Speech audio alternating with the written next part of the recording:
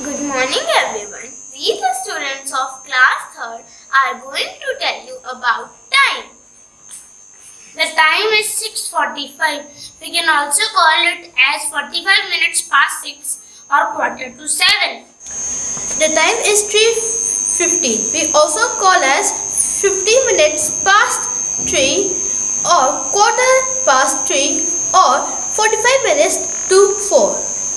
The time is 5.25. We can also say it 25 minutes past 5 or 35 minutes to 6.